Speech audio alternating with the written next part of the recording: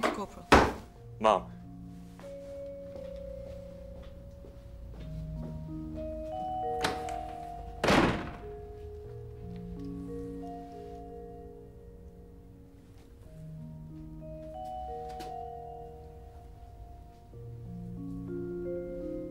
Oh, good God alive.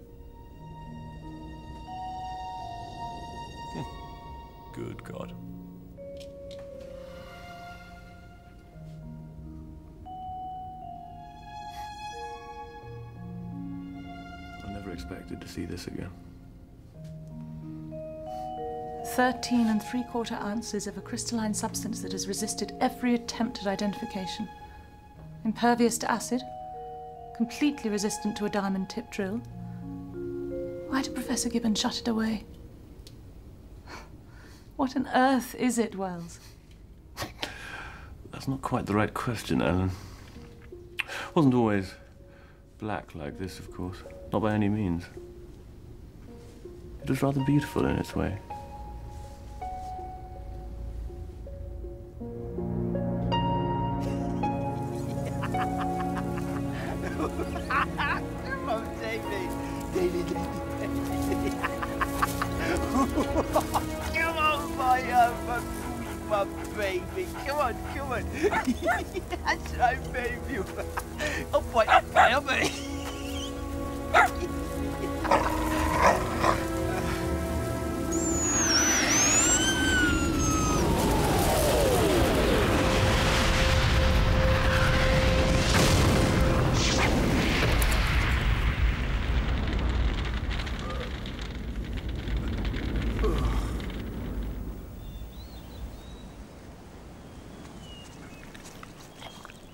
Uh, uh,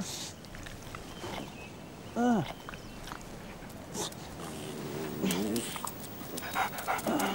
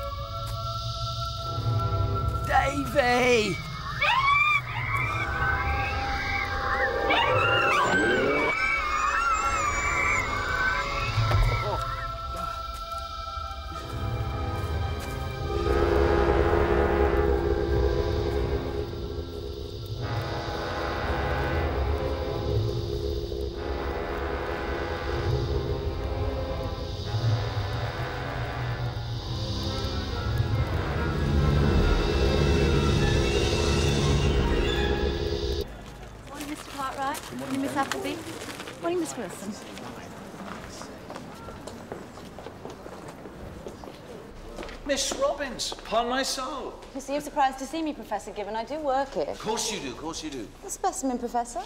Oh, him? No, no, no. Needed a new doorstop. Oh, I'm terribly sorry, I really am. Uh, which way is the vivarium? I'm late already. Oh, Cave. W William Cave. Naturalist. I'll show you, Mr. Cave. Good idea. So you're a scientist, Mr. Cave? Student of nature. Well, this is just one of my business interests. This way, Mr. Cave. Thank you.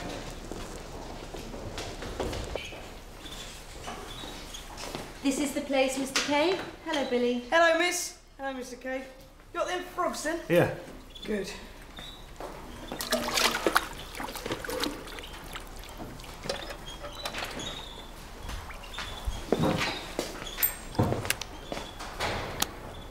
A shilling, as agreed.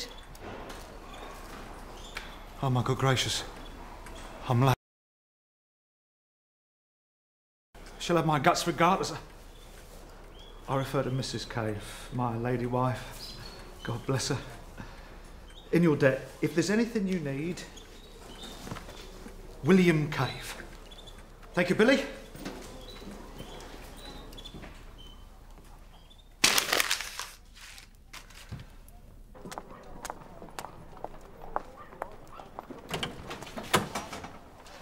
To recognize your tread.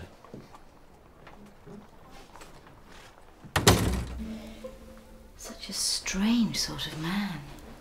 Just a few streets away.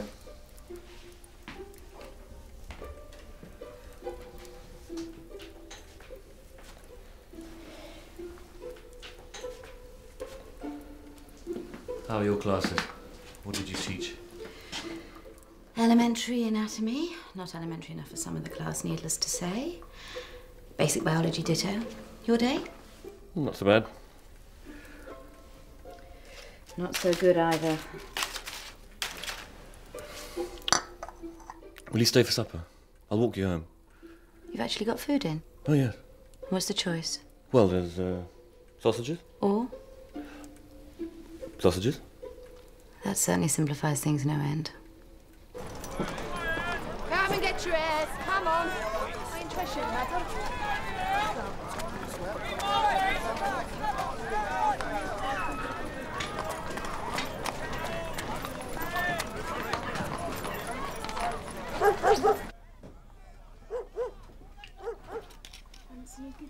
Nah.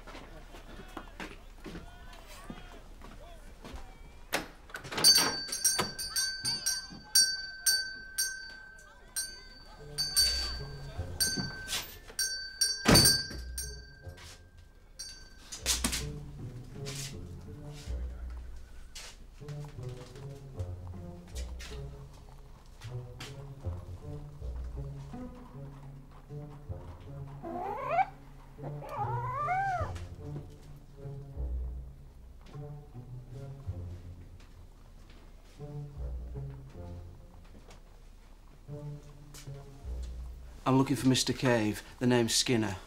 Well, he's late, isn't he? Late for his own funeral, that one. I talked to him about Yes, Mr. Cave and I. We made a negotiation. you did. I said I'd bring a certain item into the shop today. Well, let's be having you then. A unique item, this.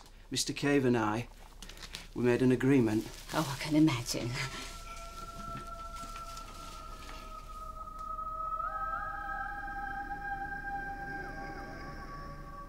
Crystal egg.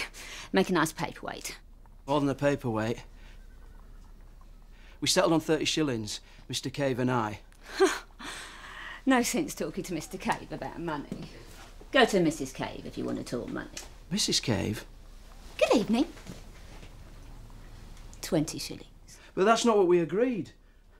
This could be rare, this. A jewel. Never seen anything like it. Experienced in jewels, are you? Twenty shillings for a paperweight. Generous, I call that. Nicely finished, though. No arguments there. How about this? Call it 21 shillings. The full guinea.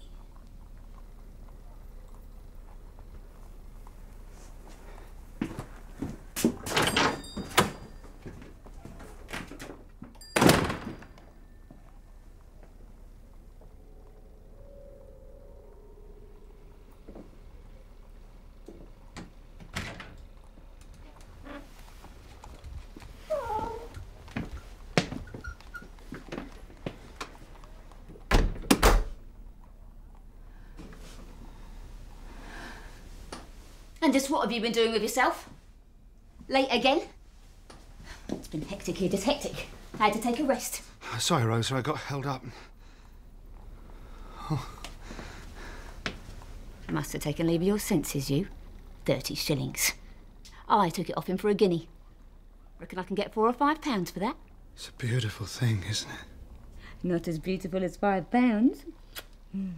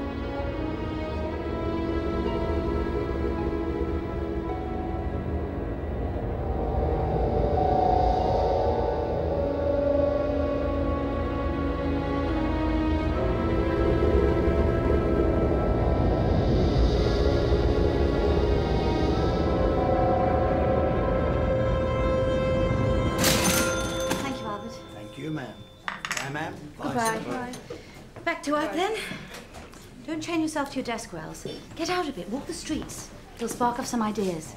I will, I promise. You seem not quite yourself. What is it? My Thursday afternoon class, remember? Stiff upper lip. You too, Wells.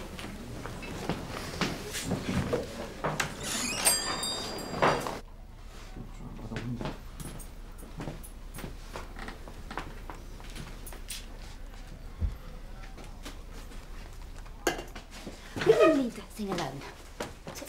Sets my nerves are grating just to watch her. Did you hear what I said?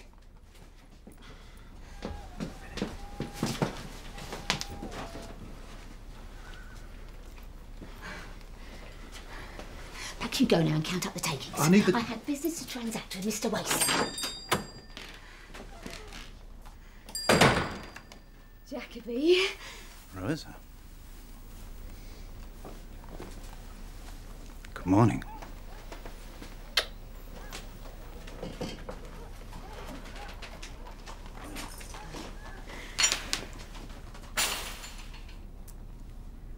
Cultured. Paste. Glass. There's really nothing here I can help you with, my dear Rosa. Hmm? Another time. Hmm? Wait a minute, Jacoby.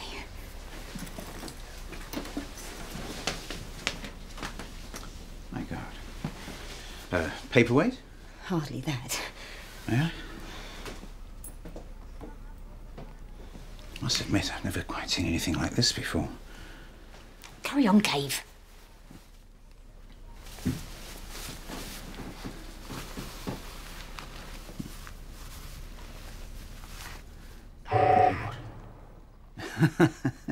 yeah. For a moment, I thought I saw something moving inside. Ladies and gentlemen, the frog. Now, this afternoon, I'd like us to put into practice some of the basic principles of dissection we talked about last week. And now, why don't you show us the way? Neck to groin, if you please. well, it's not quartz. It's not rock crystal. Not lead glass. And not tourmaline, that's for sure. What are you then? Could it be a real gem? A diamond, even? I know diamonds. The Colours in this, they're not the same. Not the same fire. I don't know these colours. Rosa. Hmm. If I had the tiniest sample, with your permission, I could look at it through a microscope. You won't damage it. The merest shaving from one of the uncut areas, invisible to the naked eye. Help yourself. Do you see that? the reflection. Yeah, must have been a reflection.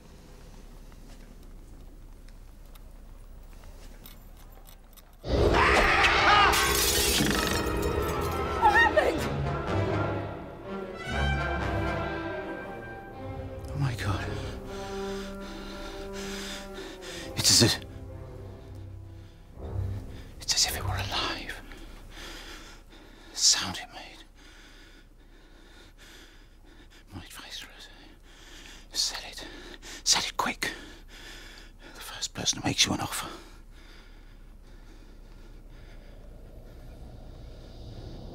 Alive? Hmm. That's quite harmless now, to the best of my knowledge. Also in the strongbox. These. X-rays. Hmm, Some five years after the events you're describing, when the Roentgen apparatus became widely available, Oh. Gibbon took a series of X rays of the interior of the egg. There's a structure here, seemingly embedded in the molecules of the crystal itself. A structure fully as complex as a human brain. It was advanced, all right, the crystal egg. Careful, Rosa. Careful, my love. The rubbish you pick up. No wonder we haven't got two pennies to rub together. Time we got more commercial. You know, Rosa, I, I was no, Let me say my piece, please. If we move to a little place in the country, hmm. you know, like I- I've always wanted, we, we wouldn't have to pay this fearsome rent. It, it could all be so different. I could get myself a little teaching job, teaching children drawing and such like. And, and The country. Spare me that nonsense cave. Spare me Cave, the naturalist. Spare me growing our own blooming vegetables. As I live and breathe, we stay here. Now pass me the duster.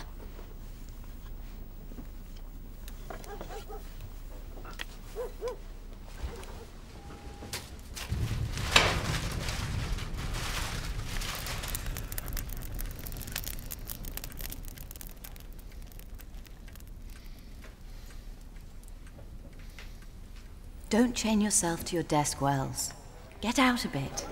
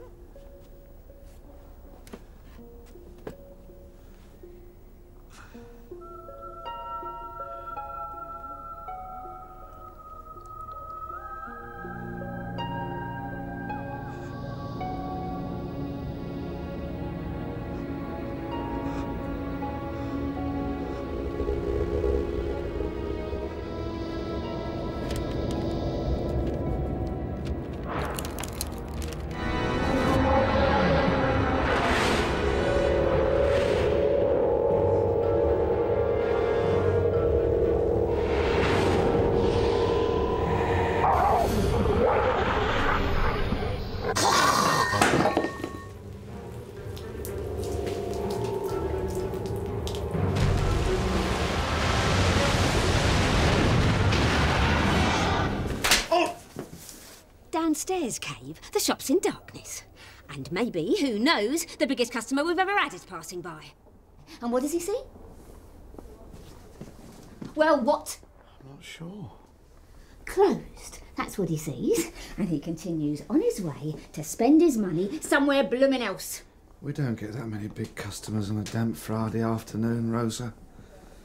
Or any other afternoon for that matter. And upstairs, here you are, in the dark with this blasted thing. Doing God knows what.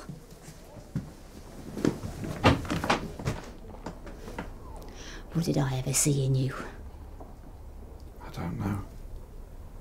You never in all these years told me, my love.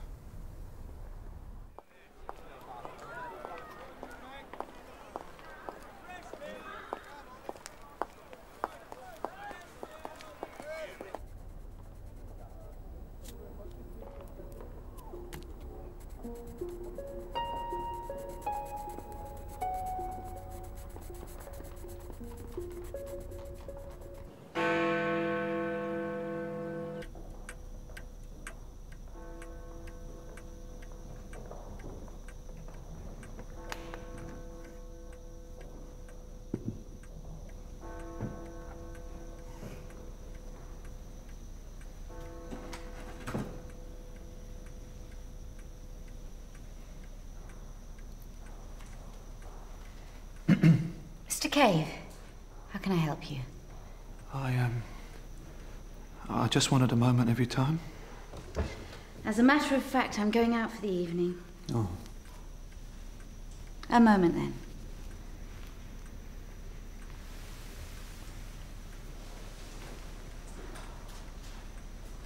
What on earth is this? I was hoping you could tell me. It's as accurate as I could make it. This is something you actually saw.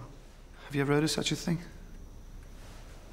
Well, there are species that live in deserts, but I've never seen anything that looks like this. Where in heaven's name did you see it? It was big. I don't know how I know, you know, the scale and all. But it was the size of a man. Size of a man? Oh, sorry, Wells, I got held Yeah? up. If we're going to get to the Alhambra before the show. Tell me uh, about it, would you, Mr. Mr. Cave. Window to a different place altogether, another country.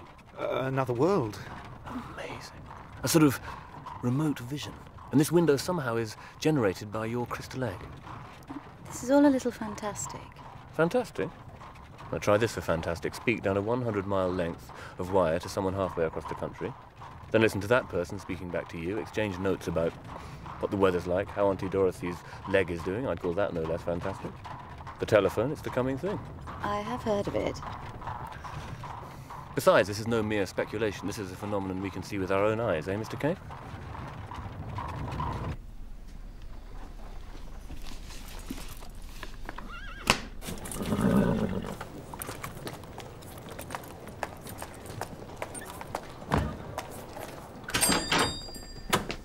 Oh, my good gracious.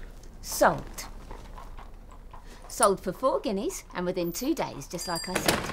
I'm afraid there's a problem. What? A previous offer. The egg's no longer on the market. As usual, you're too late, Cave. This gentleman here has just bought the egg. I'm most terribly sorry, Reverend. It shouldn't have been in the window. What previous offer? Six guineas. And who offered you that? Why? This gentleman here. He's just come to collect. Oh, of course, I must defer to the previous purchaser. Your four guineas, sir. And your six guineas, if you please, sir.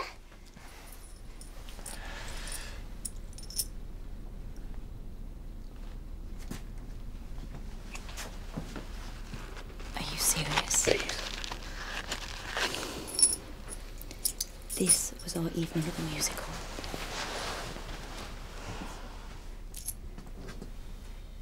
Thank you.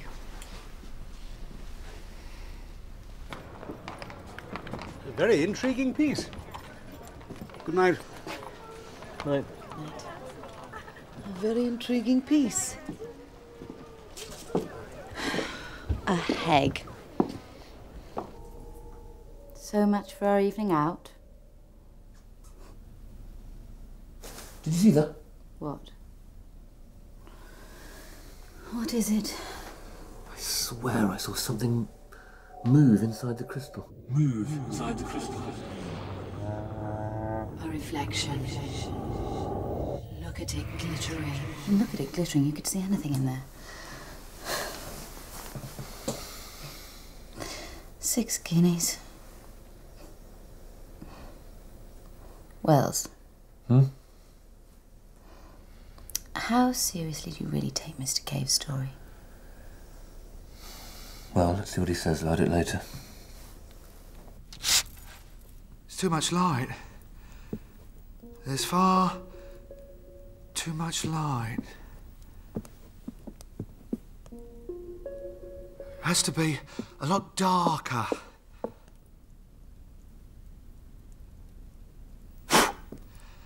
Or it won't work. See? Excuse me. Now.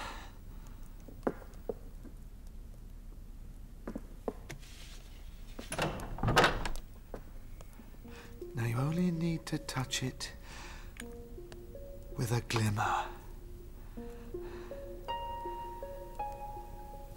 At just the right angle.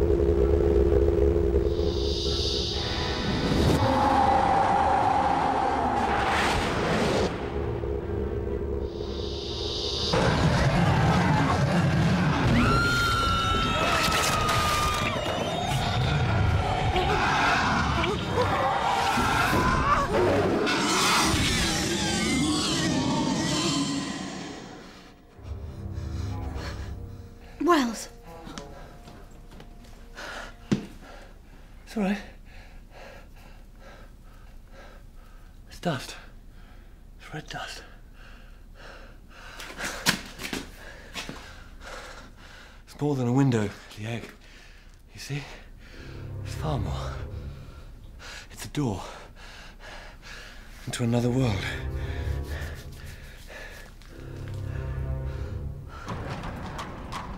In bright light, it's inert. The same, it seems, for total darkness. It's the precisely angled beam of light that triggers it. If I'd opened the doors a moment later, you would have both have joined that creature in its world. Whatever else it is, that thing is dangerous. Tomorrow we'll take the egg to Gibbon. Get it shut away where it can be studied in safety. A whole new branch of scientific study. A creature. What was it? What does it want? Can't begin to guess.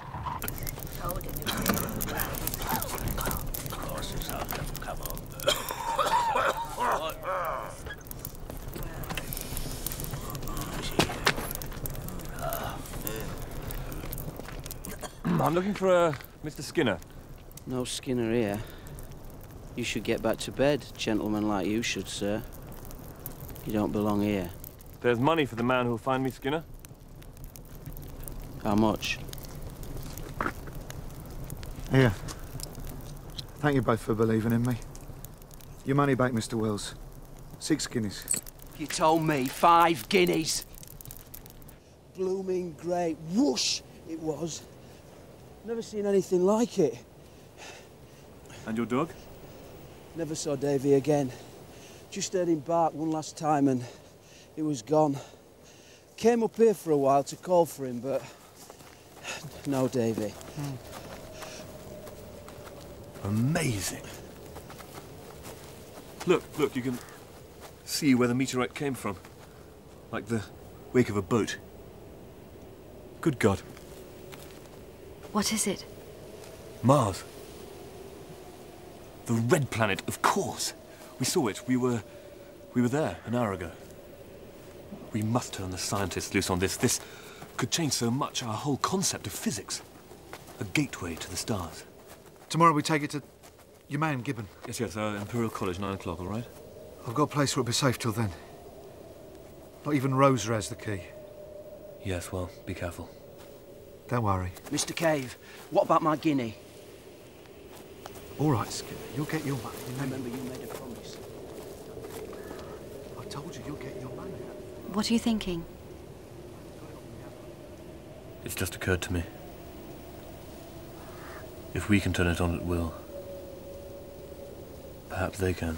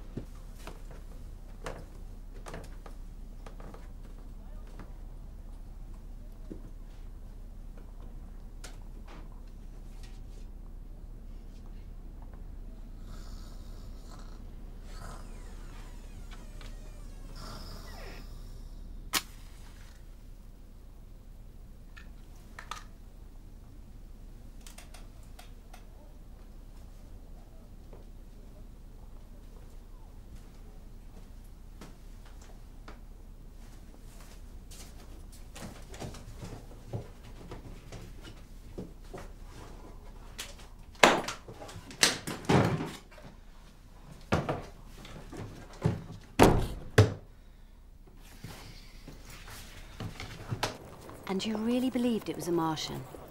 You saw it yourself. And where do you think that red dust came from? A doorway between planets? Why? Maybe just another form of transport.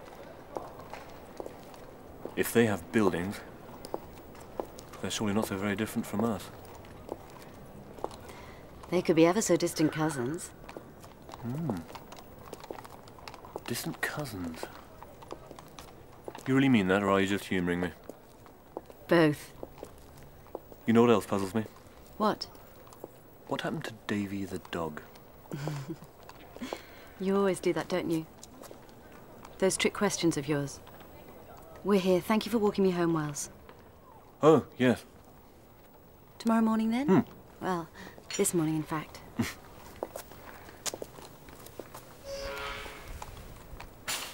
Davy the dog. Come here.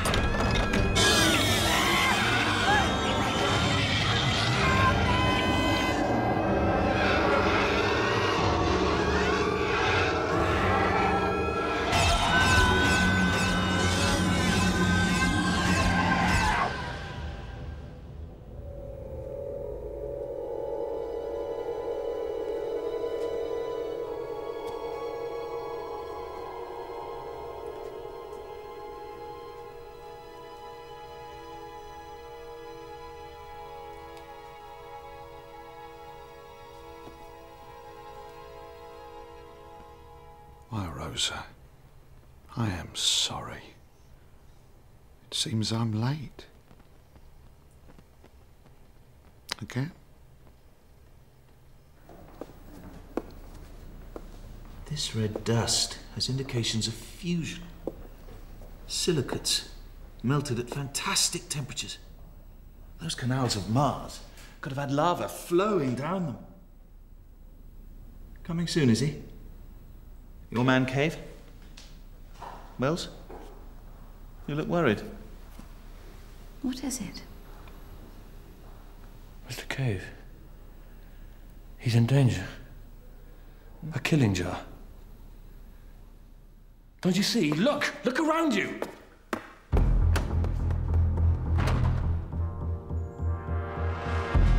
Mr.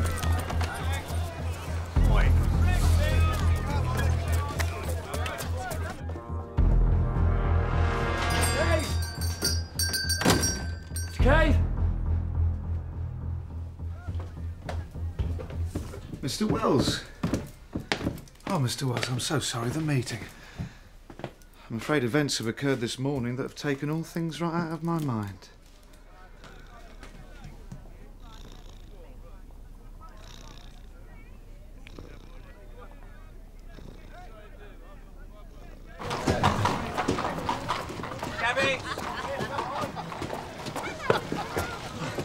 Good luck in the country, Mr. Cave. Thank you, Wells. Thank you, Jane, for everything. Goodbye, Mr. Cave.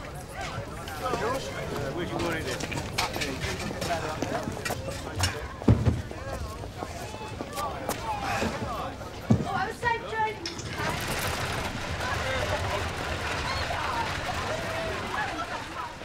Completely inert and dead. All the energy gone from it. Such opportunities lost. Perhaps you can salvage something. Perhaps. And such dangers, too. How to warn the world that we humans are not alone in our galaxy. Who would believe us? Hmm. Sometimes, don't you think people can be as much influenced by fiction as by fact? Uh-huh. Has anyone ever told you, Wells, about your rather excessive fondness for mysterious questions?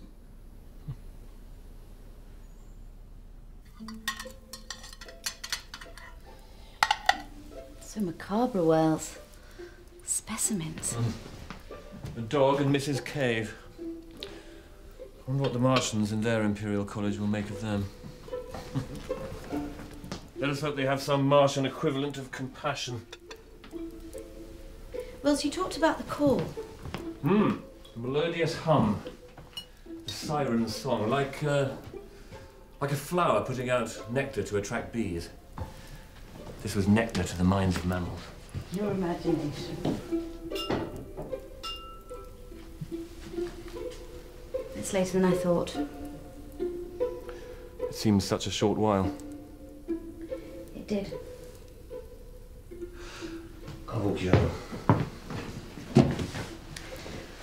There's really no need at all to warm me home, Wells. If that is, I haven't misread our situation. No. I mean,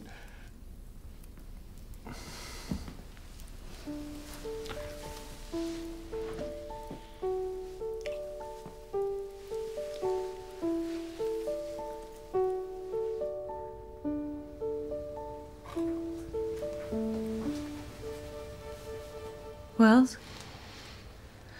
It's late. I've been thoughtless. Let's take some refreshment. Hmm?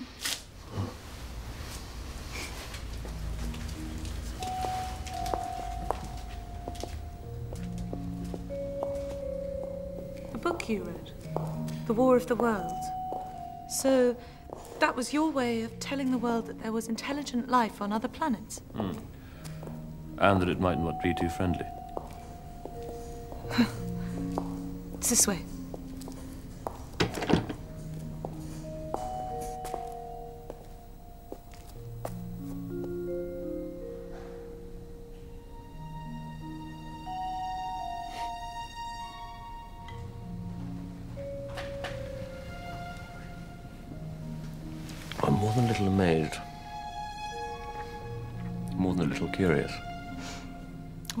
Get out of my mind is. What do you think really happened to Mrs. Cave?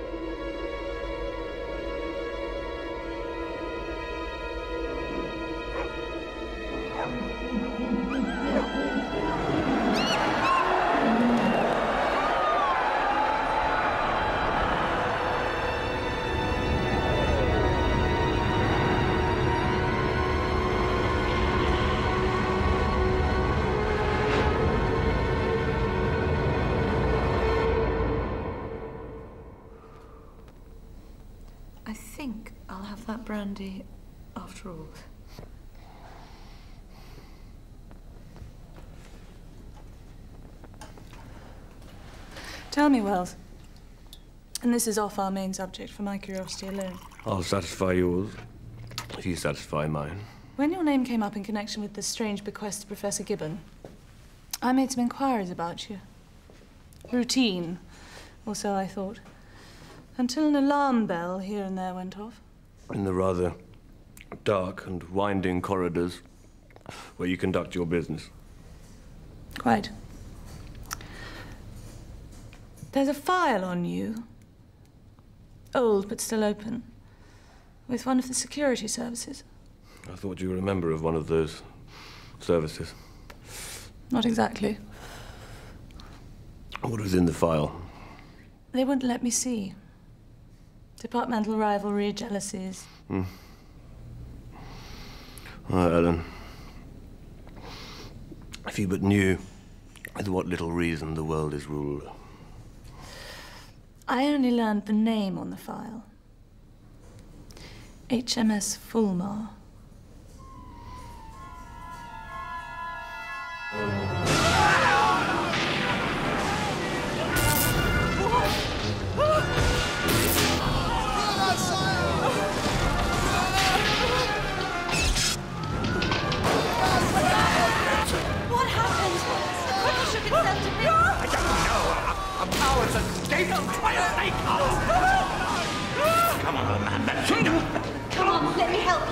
Miss Robbins, is that you? Mr. Davidson, take my hat. hand. I can't see you through this spray. Spray? I'm here, just in front. Do some help, Mr. Bellows, if you please. Take my hand. Oh my God, your hand. I can feel it. But where are you? You're not here at all. I'll get a doctor.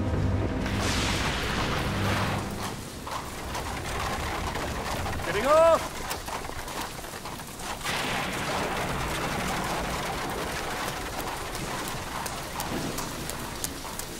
Try and calm yourself, Davidson. Let Dr. Nesbit look in your eyes. It's dark. I can't feel anything. Oh, there's a ship. With a mast. Nothing to worry about, old chap. Let's just have one more look. Oh, to my death. What's happening? There's no sign of trauma or lesion in the eyes. He's obviously hallucinating. Maybe an intracranial lesion or a subdural hematoma. Will he get better? Look, I can't say. There's a good boy. We're going to take you somewhere more comfortable, all right? There, there. Lucy. Come. I really don't like this. I don't see what else we can do. Boat. It's going down. It's on the rocks. What are you doing? Oh my God! A rock! Ah, help me! Restrain him. There's a rock! Stay calm. Help me! Restrain him. Restrain him. They're sinking. Calm, Davidson. Calm.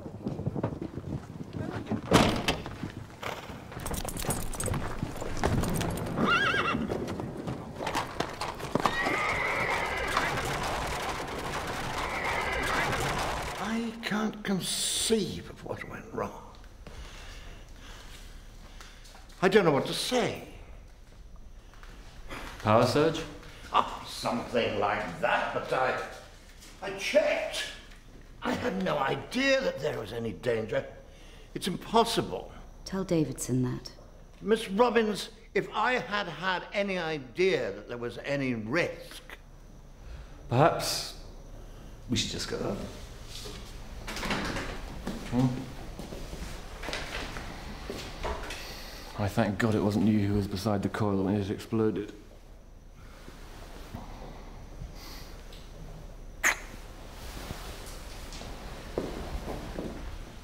Yeah, I'll, I'll have a look around here and try and. Uh...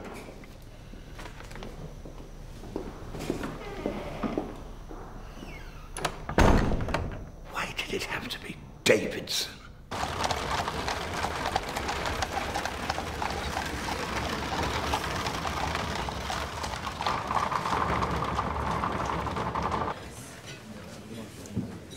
Sure you're all right? Just a bit shaken. More nervous about tomorrow. Oh, don't be. I'm just thankful there is a tomorrow. What on earth possessed you to help Bellows in the first place? Misplaced compassion? You see, I knew he only had Davidson as his lab assistant. And if you'd seen Davidson assisting, you wouldn't want to leave anyone alone in a room that contained Davidson and a large amount of electricity. Not even Bellows? You're really down on him, aren't you? He nearly blew up the woman I love. Didn't even seem to have the faintest idea of what had happened. I'm hardly going to look on him like a long lost brother. What do you think happened? I'm no physicist. I just did what he asked. When he made the connection, power started to build in the coil. Then there was a hum getting higher, turning into a howl. Then, and, and this was strange, complete silence and a flash of the most intense white light. Where was uh, Davidson in all this? Standing where he shouldn't be standing. Right in the middle of the flash, the explosion, whatever it was. That's Davidson all over. What have we done to that poor clumsy boy? It would just have to be him. Doesn't seem quite cut out for the life of a lab assistant. He isn't, but what he is, Wells, is a nephew of Frederick Masterman. The Dean of Imperial College. He is a first-rate lab assistant, as I've always maintained. Masterman will be out for blood when he hears about this. But you're not the one to blame. I shouldn't really have been assisting Bellows in the first place.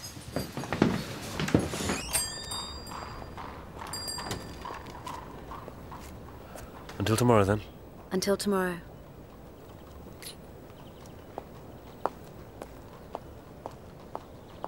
A storm at sea. Now, what kind of hallucination is that?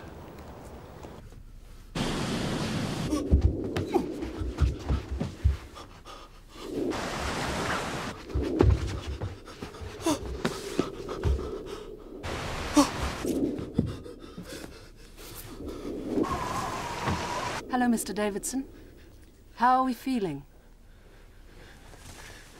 You have to listen to me. We're listening. I'm on an island. By the sea, do you understand? Of course. Why can't I see you? Are you a ghost? Oh, no. I'm real enough. It's time for your sedative, my lad. Make you nice and sleepy. I don't want to sleep.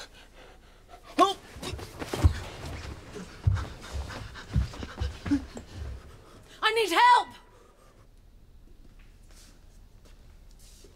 You see, what we were trying to do was send a powerful, low frequency radio signal right around the world, bouncing it off the stratosphere. You see, like a ball. Boom, boom, boom. Wasn't there a similar American experiment by, uh, what's his name? Tesla? Yeah, it's uh, building on his work. What went wrong? I've been thinking about it. It's a sort of resonance effect. When two or more identical frequencies meet, they have a far more powerful effect than when they're simply added together.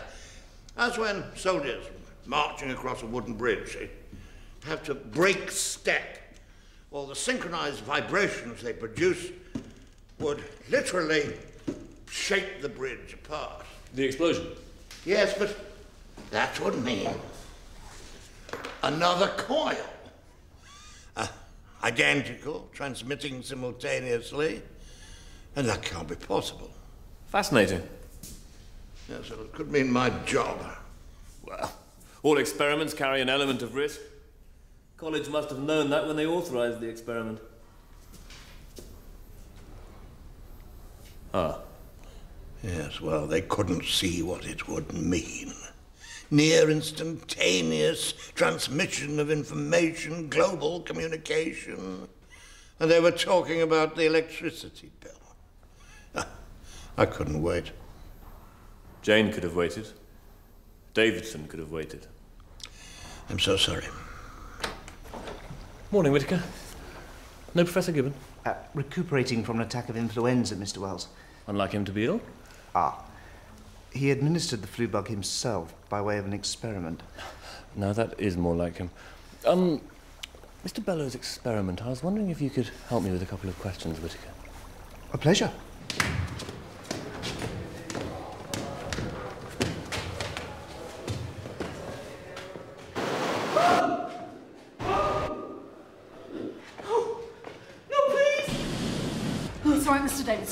Go that way if it upsets you so. Have you called my uncle? I must speak to him. Everything is in hand, Mr. Davidson.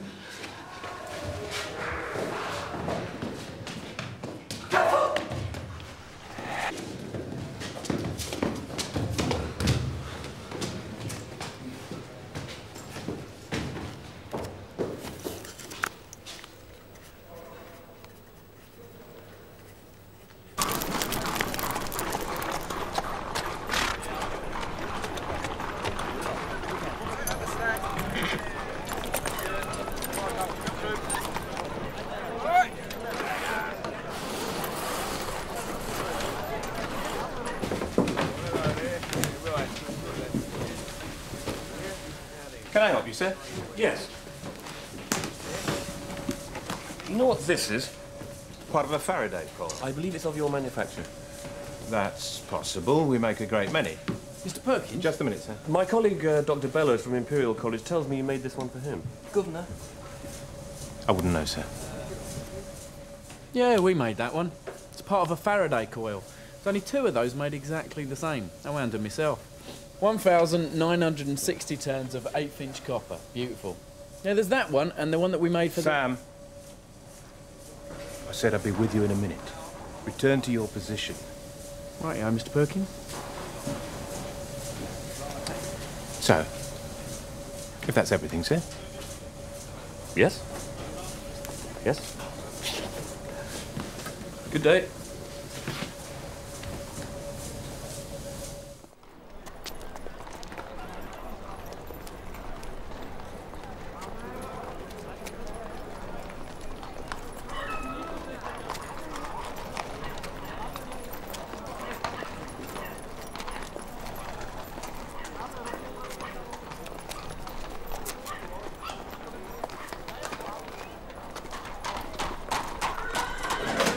All right, gentlemen. Pint best, please, darling. I'll get that for you. Same for me, please. 1,960 coils. I can hardly believe it. Must use a machine, I suppose. Yeah, by hand, if you don't mind. Really? And two of them? That must have been hard work. Who on earth was the second one for? Special job that was, and why would you be asking, sir? Oh, I'm a writer. Fantastic tales. The writer's always full of questions. I thought you said you was with Imperial College. Thank you. You're too quick for me, Sam. I'm not really at the college at all. I'm just trying to help out a friend who's in trouble. And what sort of tales do you tell, then? Well, I've had some stories in Strand magazine, not very many. I'm on it. Bloomin' heck! I read one of yours a while back with that, um... Sherlock Holmes in, wasn't it? Why didn't you tell me who you was before? Cheers. Perkins said that, how dare he? What he said? I don't believe it, thank you. I bet he couldn't uh, twist 900, 100, no, no. 800, 8,000. No, 1,000. No, don't forget the 90. Was that the, 90. ah, that the second coil? Ah, both the same. Peas in a pod. A funny old job, that one, and a funny bunch of fellas. All stuck up in their uniforms. Oh, yes. What kind of uniform is that? The Navy. Hush, hush, he said. And finally he just clammed up like a... A clam, maybe? Yes, thank you. Like an inebriated clam. Davidson said he saw a ship. He did. Perhaps we should take what Davidson says more seriously. Yes. I was going to see him, as a matter of fact. I still feel so awful about what happened.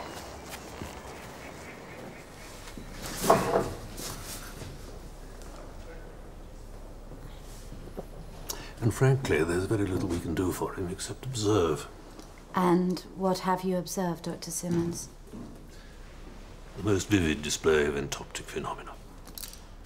Imaginary visions, like the stars you see after being banged on the head, yet more intense. A very rare condition. It'll make the most wonderful paper for the Royal College. Every cloud has a silver lining, then. We're doing our best for Davidson, of course. Making him comfortable. Keeping him safe. And the prognosis? Ah, I wouldn't even hazard a guess. We're in uncharted waters. Thank you.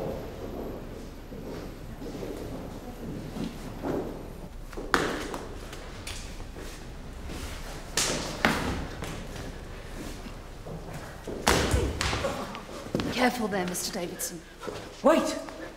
I found something.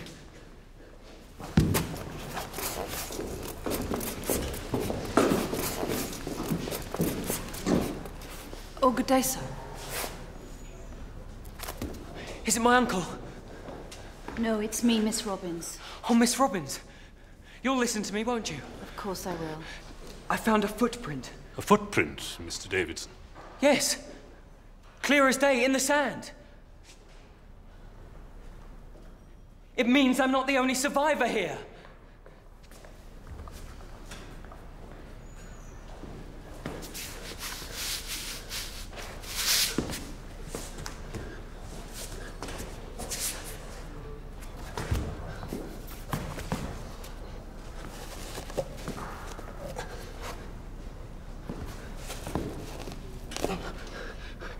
Clothing. I can't pick it up. What sort of clothing? Navy. A naval uniform. Oh, God. What's happening to me? Fascinating. The creation of an imaginary world. Psychosis brought about by great stress or fear. A world into which the patient can escape. No. No. I'm not imagining anything. I'm here. It's as real as you are. Oh, I'm a madman. And I hate it. Oh, God. Somebody get me out of here. Please. You're not going mad, Davidson. And I will get you out of here, I promise.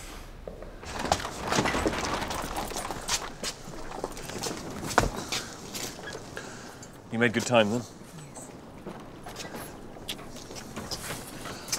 This way.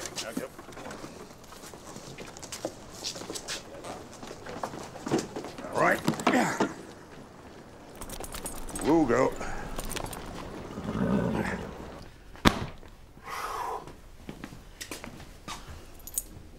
Thank you, Mom.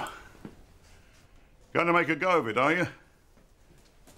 Well, good luck to you. Thank you. Come on, son.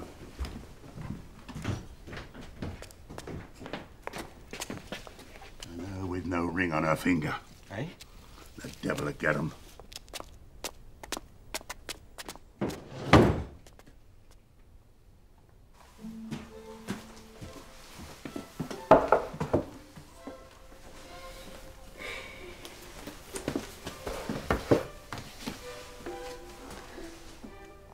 Preoccupied. Thank you. Something's bothering me. About us? Oh, Wells, you're such an idiot. This is the happiest day of my life. No. It's Davidson. He describes the island in, in such detail. You know what he said he saw? A naval uniform. Imagination? Poor Davidson hasn't got one. I can't help it, Wells. I believe him.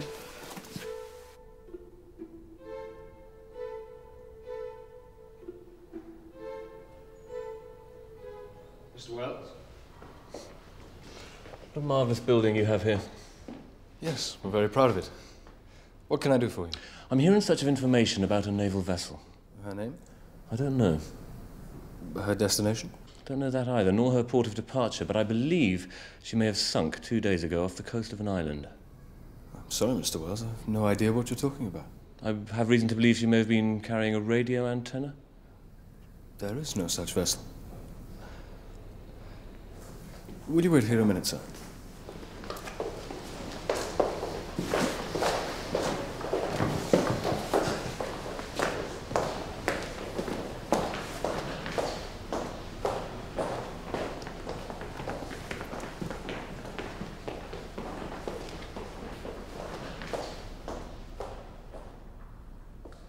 Hapgood will see you now, sir.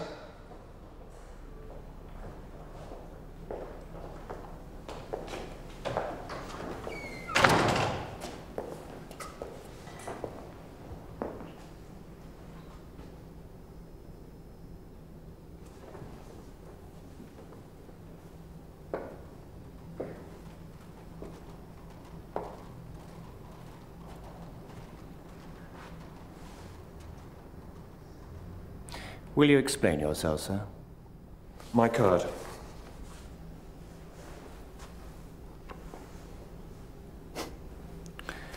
A writer. The lieutenant tells me you're spouting some wild story about a missing naval vessel. Is it a wild story, sir? Of course. Royal Navy knows what's happening to its own ships. That's very reassuring. Who did you hear this from, anyway? My source is somewhat unconventional, a witness who saw what happened. You're not a... a spirit, are you, Mr. Wells? No, no, no. My disposition is a scientific one. Good. Otherwise, I might have had you thrown overboard. Anyway, it's impossible. No one can witness a non-existent event. You're wasting my time and your own, Mr. Wells. I came because I believe there may be survivors. I don't know what you are, a, a crank or a fraudster, but your story is nonsense. Spreading false rumors is a bad business, Mr. Wells. It's dangerous. Do I make myself clear? At least we now know Davidson is telling the truth, Why? because the Navy is so obviously lying. Straight it up. Down a little. There. Now we need solid evidence. Like what? A wreck.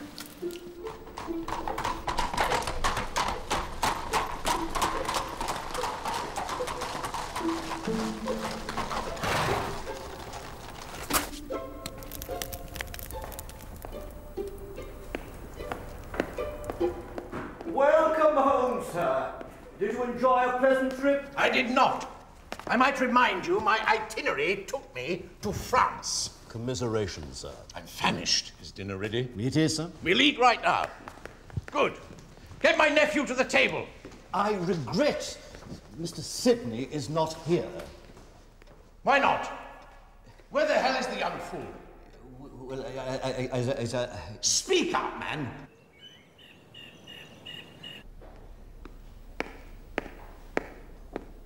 Ah, back again so soon, Miss Robbins. There's no change, I'm afraid. Mr. Wells here. Hope to speak to him. A colleague of Mr. Davidson. I'm a writer. Not a journalist. a science writer. I was hoping to see this unfortunate young man myself, and then perhaps record your insights and impressions of the case, Dr. Simmons. Give the public a first-hand view of how someone at the peak of their psychiatric career, if I may use the phrase, handles the more bizarre phenomena of the human mind. I dare say I might be able to throw some light on things.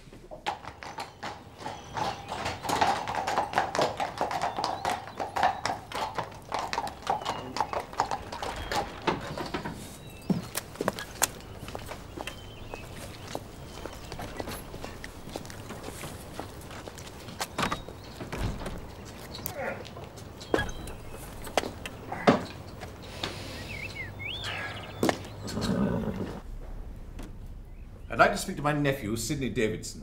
Your name, sir? My name is Sir Frederick Masterman. Be quick about it.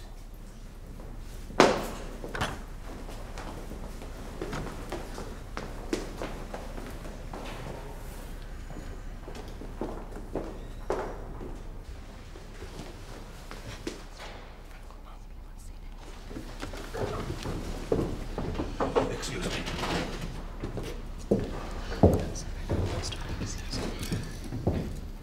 Yeah, it seems Davidson's day today. Another visitor in the foyer.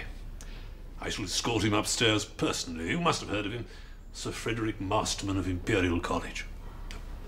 I'll make a point of introducing you.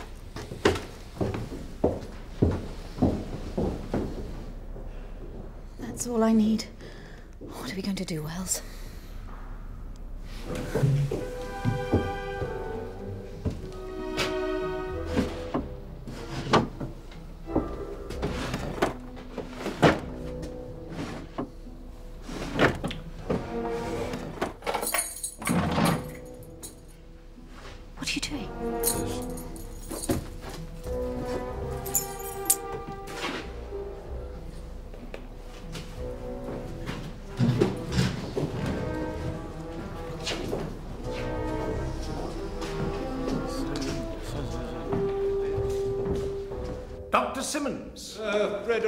Great pleasure. Speak for yourself, sir, and answer me this. Are you the person responsible for locking up my nephew? Rest assured that Sidney is in comfortable and secure surroundings. And what is that in plain English? He's in protective care.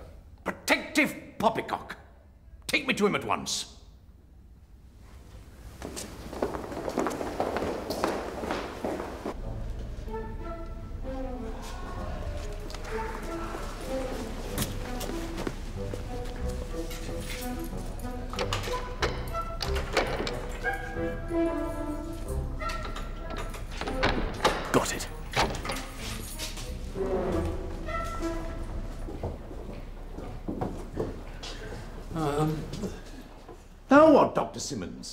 I'd appreciate seeing Sidney without further delay. The boy may be an idiot, but by God, he's my idiot. His condition is really rather more serious than you might imagine. I shall form my own judgment.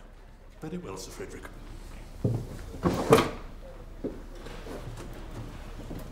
Why, Keith, they've gone. In heaven's name, man, you're in charge of this place. Stop fooling and footling around.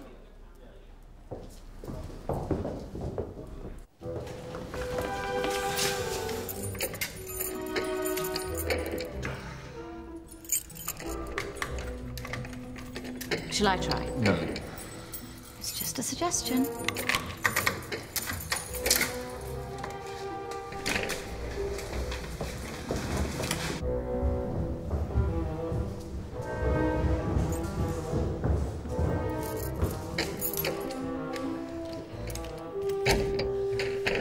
Third gate lucky.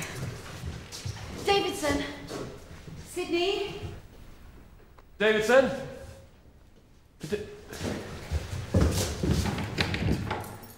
Can you hear us, Mr. Davidson? We can hear you all too clearly. Let's get some peace. Mr. Davidson? Who is it? Sidney, where are you? Which room are you in, Mr. Davidson, counting from the left? There's a small rock pool just before you get to the door. Sidney? Yes? Sidney, is that you? Yes. In here.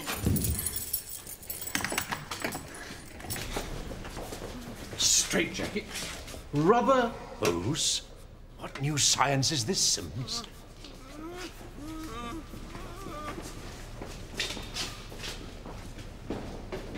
How are you keeping, Sidney? Oh, Miss Robbins, it's good to hear your voice again. It's dark in here. I like it when it's dark. It's less confusing. I can see the moon, you know. Oh, Sidney, can you? Come. We're here to help. Masterman. The gate. Most interesting case, that. Rubbish! Just passed, Sir Frederick. Uh, the patient. Balderdash! Responding. Piffle, man! Piffle! A particularly revolutionary form of endosomatic irrigation.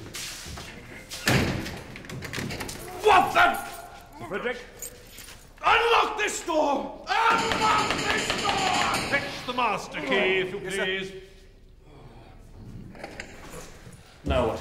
Is there another way out of this room? Oh, yes, don't worry about that. Which door? Where? Um, it's by the withered tree. I haven't seen it, of course, but I felt it. For God's sake, show me, man. Oh, we'll have to wait. There's a cloud covering the moon. Thank you, Wilson. Sir Frederick. Try over there. What now? Is there no peace to be had? Uh, Why are you looking at me like that, sir? We don't all wear straw in our hair, you know. you oh, begone! Terribly sorry. don't forget to lock the door!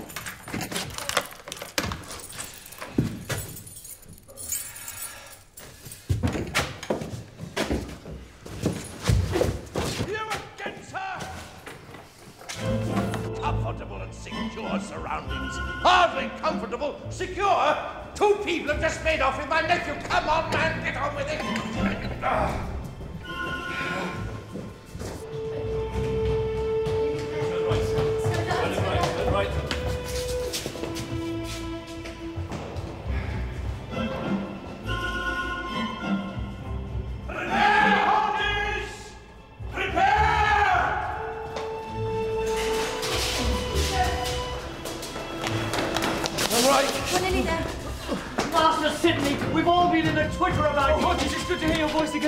Again. We need this land now. But, sir... Hodges, please trust this man and do what he asks. He's here to help me. If you're for him, then I'm for you. I'm afraid my uncle won't be very pleased. We'll deal with Mount Vesuvius in due course as we have in many a year. I'll stay here to hold him back. Carry on, Jones.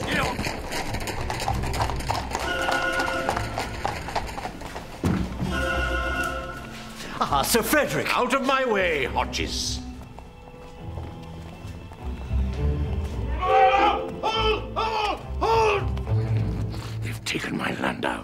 Uh, just what sort of an establishment do you think you're running here? A madhouse?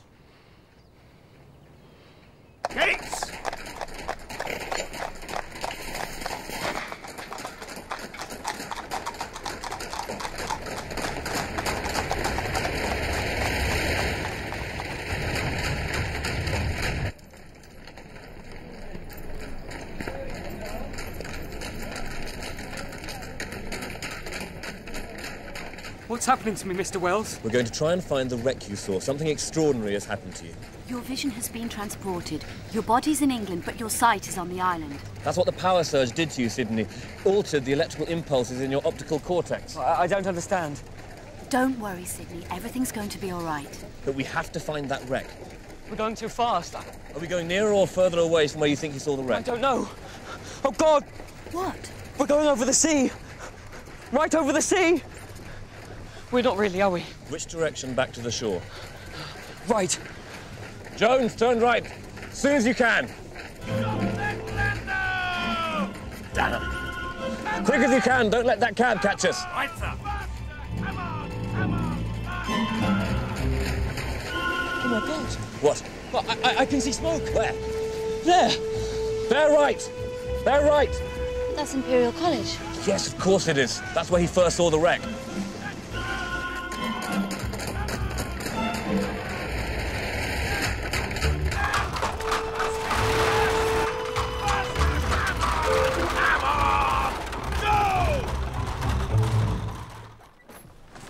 Can see something. Take us back.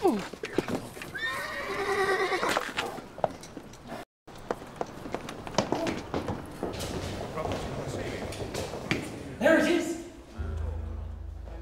HMS Fulmar! Oh my god. There's a man!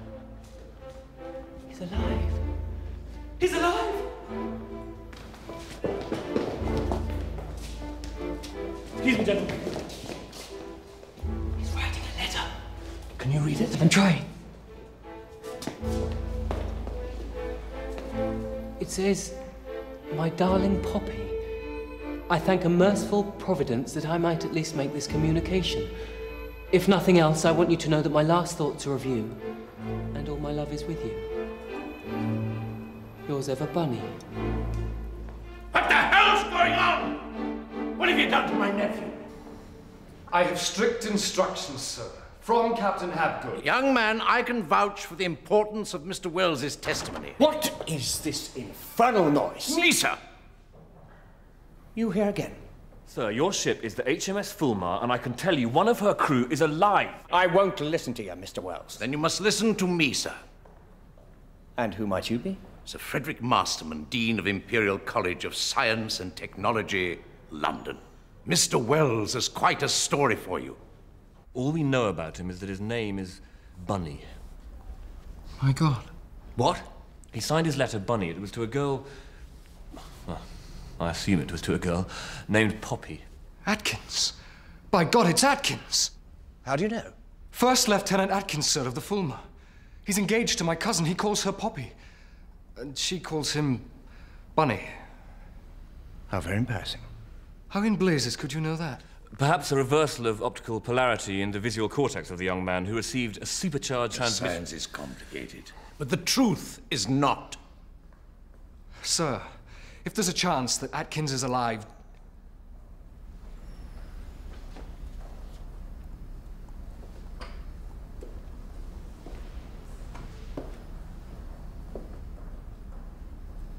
What I'm about to tell you is a naval secret and must not leave this room. HMS Fulmar was conducting experiments in electrical transmission. Sending radio messages around the world. We have lost contact with her. We can't say exactly where she is. But we can help you by tracing the path of the initial signal from Imperial College and coordinating the intersection. There are people here who deal with such things. We shall act upon your information.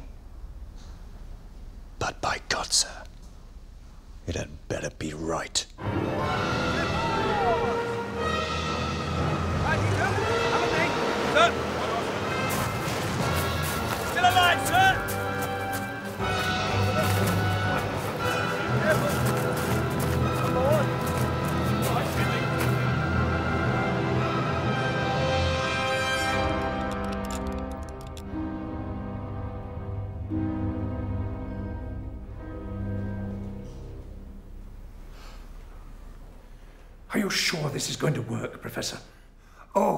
When we apply the power, the signals affected the polarity of the optical locus should be reversed.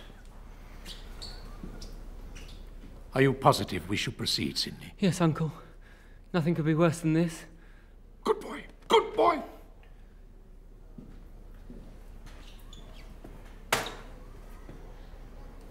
Ready, Professor? Get on with it. And get it right this time.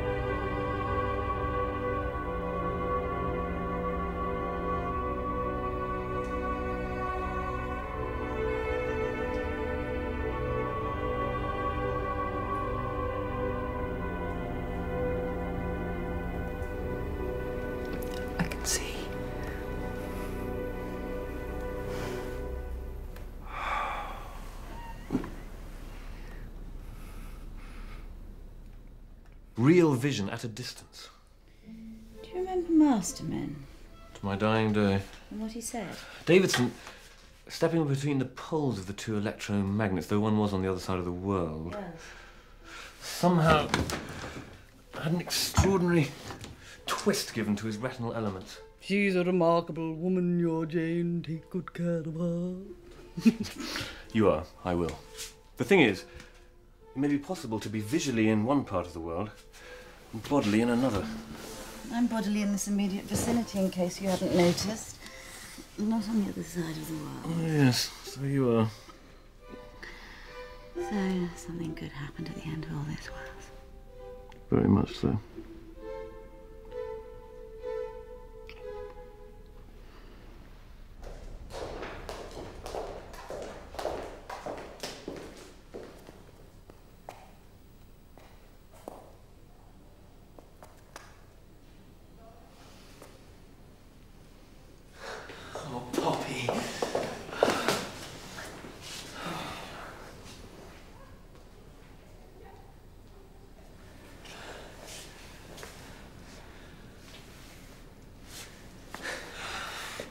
Damn good show you put up out there, Atkins. Oh, I wasn't half the man you were. In your nightmare. Thank you a million times for coming through for me.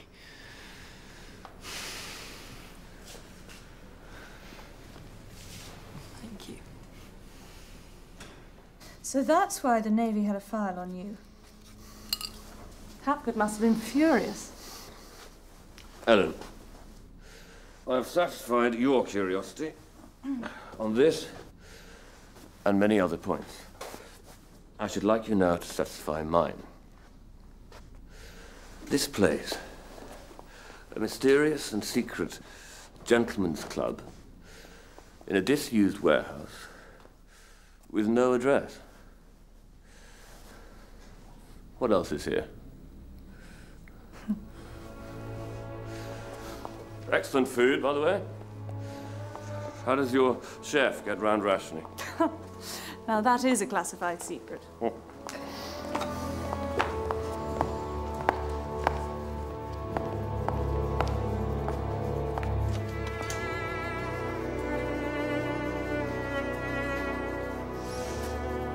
It's about time you met my boss, Wells. I think you know each other.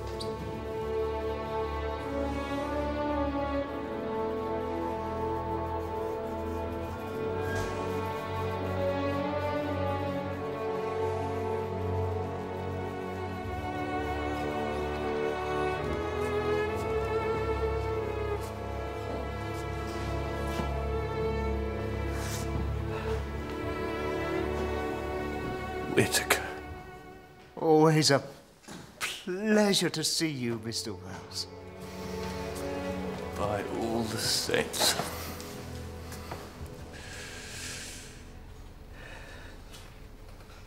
And this place? Established at the beginning of the war to accommodate the professor and his researches. A laboratory constructed in utter secrecy and unrestricted in the scope of its research. It was here, for example, that radar was finally perfected. Gibbon answered only to the Prime Minister. And on Gibbon's death? Well, I took over. The professor insisted. And the work continues. There's a new and dangerous world to ready ourselves for. The atom bomb, bacteriological warfare, control of the mind. War and power. What a world. And diseases to be cured, new power sources to be developed, and the most bizarre physical effects to be explored. A test tube in the professor's strongbox, a, a smear of liquid at its base. Oh, come and see for yourself.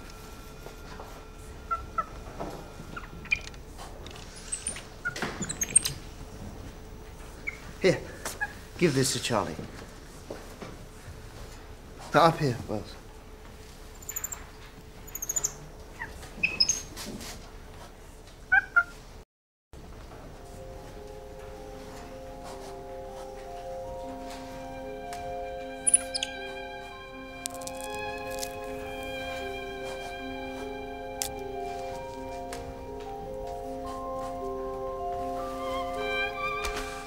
The effect will wear off. Exponentially, of course. Well, how in heaven's name do you know that?